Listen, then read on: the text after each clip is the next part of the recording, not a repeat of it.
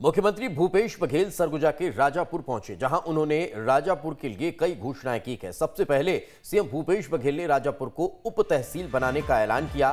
स्वामी आत्मानंद अंग्रेज़ी स्कूल को स्वीकृति दी। राजापुर में ग्रामीण सहकारी बैंक खोलने और मैनपाट में स्टेडियम निर्माण की भी घोषणा की है। इसके साथ ही, सीएम भूपेश बघेल ने पेयजल की समस्या दूर करने और सड़क निर्माण की भी घोषणा की है। राजापुर को उप तहसील का दर्जा देने की घोषणा करता हूँ स्वामी आत्मानंद अंग्रेज़ी स्कूल यहाँ स्वीकृत करने की भी घोषणा करता हूँ। और मान नदी पे गाँव हर्रामार में पुल निर्माण? और राजापुर हाई स्कूल के बाउंड्री वाल। ठीक है? अच्छा चलो यहाँ ग्रामीण सहकारी बैंक की घोषणा करता हूँ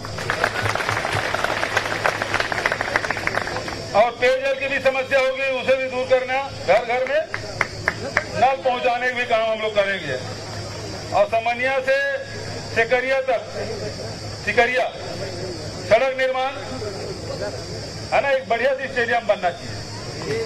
मैन पार्ट भेंट मुलाकात कार्यक्रम के तहत मुख्यमंत्री भूपेश बघेल खाद्य एवं संस्कृति मंत्री अमरजीत भगत के विधानसभा क्षेत्र सीतापुर पहुँचे।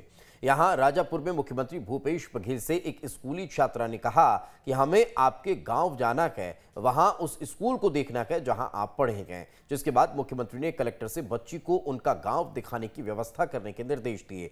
मुख्यमंत्री ने राजापुर के राजनाथ एक्का के घर पहुंचकर भोजन भी किया।